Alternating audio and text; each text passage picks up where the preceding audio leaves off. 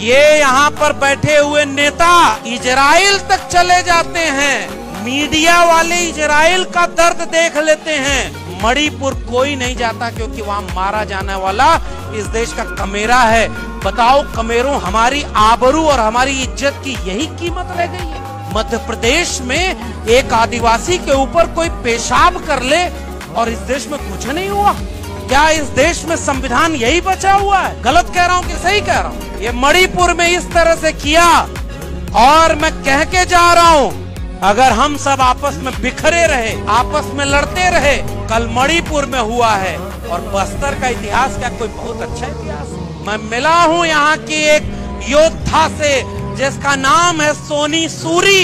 और मैं याद करना चाहता हूँ सोनी सूरी को, जिसने इतनी लड़ाई लड़ी है और उसने बताया कि बस्तर में कितना जुल्म हो रहा है।